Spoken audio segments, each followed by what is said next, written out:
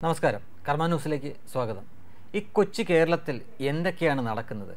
ഇവിടെ ശരിക്കും ഒരു ജനാധിപത്യ ഭരണകൂടമുണ്ടോ എന്ന് ഏതൊരു സാധാരണക്കാരനും സംശയം തോന്നുന്ന തരത്തിലുള്ള കാര്യങ്ങളാണ് ഓരോ ദിവസവും നമ്മൾ കേട്ടുകൊണ്ടിരിക്കുന്നത്. ഇപ്പോൾ ഞാൻ കാണിക്കുന്നത് ഇത് രണ്ടായിരത്തി ഇരുപത്തി മൂന്ന് ഒക്ടോബറിലെ ഒരു വാർത്തയാണ്. ഇംഗ്ലീഷ് വാർത്തയാണ്. അത് എന്താണ് ആ വാർത്ത എന്ന് ചോദിച്ചു കഴിഞ്ഞാൽ വിമാനത്താവളം കേന്ദ്രീകരിച്ചുള്ള സ്വർണക്കടത്തുമായി ബന്ധപ്പെട്ട് കോഴിക്കോട് വിമാനത്താവളത്തിലെ C S F assistant commandant Naveen Kumar police പിടിയിലായിരുന്നു.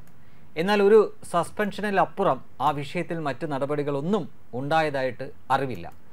മൂന്ന് മാസത്തിനിടയ്ക്ക് അറുപതിലധികം തവണ സ്വർണക്കടത്തുമായി കടത്തുന്നവരുമായി ബന്ധപ്പെട്ട് നവീൻ കുമാറും കൂടെ രണ്ട് ഉദ്യോഗസ്ഥരും ചേർന്ന സംഘം സ്വർണം കടത്തി എന്നാണ് വിവരം. ഒന്ന് ഓർത്തു നോക്കുക. മൂന്ന് മാസം എന്ന് പറയുമ്പോൾ കുറഞ്ഞത് തൊണ്ണൂറ് ദിവസം. ആ തൊണ്ണൂറ് ദിവസത്തിനിടയിൽ അറുപത് തവണ സ്വർണം കടത്തിയതിന്റെ പേരിലാണ് ഈ നടപടി. കസ്റ്റംസ് പരിശോധനയിൽ കുടുങ്ങാതെ വിമാനത്താവളത്തിന് പുറത്തെത്തിയ രണ്ട് യാത്രക്കാരിൽ നിന്ന് പോലീസ് അഞ്ഞൂറ്റി മൂന്ന് ഗ്രാം സ്വർണം പിടികൂടിയിരുന്നു. ഇവരിൽ നിന്ന് സ്വർണം കൈപ്പറ്റാൻ എത്തിയവരെ പിടികൂടിയപ്പോൾ അതിൽ ഒരാളുടെ ഫോണിൽ പോലീസ് ആൻഡ് കസ്റ്റംസ് ഉദ്യോഗസ്ഥരുടെ ഡ്യൂട്ടി ഷെഡ്യൂൾ മറ്റു വിവരങ്ങൾ എന്നിവ കണ്ടെത്തി. അങ്ങനെയാണ് നവീൻ കുമാറിലേക്ക് അന്വേഷണം എത്തിയത്. ഇതല്ല ഇനി പറയുന്നതാണ് ശരിക്കുള്ള ട്വിസ്റ്റ്. ഈ പറയുന്ന നവീൻ കുമാറിനെ അന്ന് ചോദ്യം ചെയ്യാൻ എത്തിയത് അന്നത്തെ മലപ്പുറം എസ് പി ആയ സുജിത് ദാസാണ്. അതായത് ഇന്ന് സ്വർണക്കടത്തുമായി ബന്ധപ്പെട്ട വിവാദ വിഷയങ്ങളിൽ കുടുങ്ങി സസ്പെൻഷൻ നേരിടുന്ന പത്തനംതിട്ട എസ് പി സുജിത് ദാസ് തന്നെ. അന്ന് നവീൻ കുമാർ എന്ന ഉദ്യോഗസ്ഥനെ ഇരുപത്തിനാല് മണിക്കൂർ ചോദ്യം ചെയ്തു എന്ന് കാണിച്ച് അറസ്റ്റ് രേഖപ്പെടുത്താതെ വിടുകയായിരുന്നു ഇവർ. അതേപോലെ കസ്റ്റംസിലെ ഇൻസ്പെക്ടറായിരുന്ന ജി എസ് ടി ഉദ്യോഗസ്ഥനെയും ഇതുപോലെ കസ്റ്റഡിയിലെടുത്തിരുന്നുവെന്നും ഉന്നത പോലീസ് ഇടപെടലിനെ തുടർന്ന് കേസ് മരവ് മരവിപ്പിച്ചതാണ് എന്നും ആരോപണമുണ്ടായിരുന്നു. ശരി ഇനി വേറൊരു വാർത്ത. അതും രണ്ടായിരത്തി ഇരുപത്തി മൂന്ന് ഡിസംബറിലെ വാർത്തയാണ്. സ്വർണക്കടത്തുകാരുമായുള്ള ബന്ധം ആരോപിച്ച് മലപ്പുറം ജില്ലയിൽ ഇതുവരെ നിയമ നടപടിക്ക് വിധേയനായത് ഒരേ ഒരു പോലീസ് ഉദ്യോഗസ്ഥൻ മാത്രമാണ്. പെരുമ്പടവ് എസ് ഐ ആയിരുന്ന കൊല്ലം സ്വദേശി ശ്രീജിത്ത്.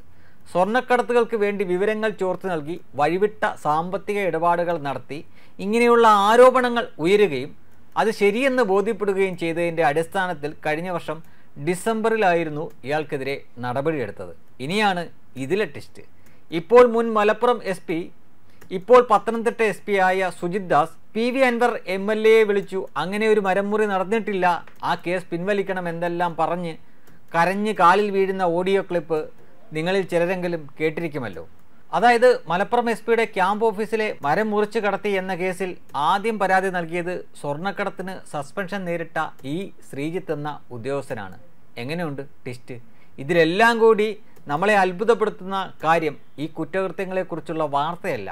മറിച്ച് നിങ്ങൾ സ്വർണം ഇഷ്ടംപോലെ കടത്തിക്കോളൂ അഴിമതി ചെയ്തോളൂ കൈക്കൂലി വാങ്ങിക്കോളൂ. നിങ്ങളെ കാത്തിരിക്കുന്നത് വെറും ഒരു സസ്പെൻഷൻ മാത്രമാണ് എന്ന മഹത്തായ സന്ദേശമാണ്. ആ മഹത്തായ സന്ദേശം എവിടെ നിന്ന് വരുന്നു എന്ന് ചോദിച്ചു കഴിഞ്ഞാൽ സാക്ഷാൽ മഹാനായ പിണറായി വിജയൻ ഭരിക്കുന്ന ആഭ്യന്തര വകുപ്പിൽ നിന്ന് വരുന്നു എന്ന് വേണം മനസ്സിലാക്കാൻ. അതോലോക്കാർ തോറ്റു തൊപ്പിയിട്ട് പോകും. അത്തരം കാര്യങ്ങളാണ് കേരളത്തിൽ നടക്കുന്നത്. ഇതാണ് നമ്പർ വൺ പ്രബുദ്ധ കേരളം. എല്ലാ ദിവസവും സ്വർണക്കടത്തിന്റെ വാർത്തകൾ കരിപ്പൂർ വിമാനത്താവളവും അനുബന്ധിച്ച് നമ്മൾ കേൾക്കാറുണ്ട്.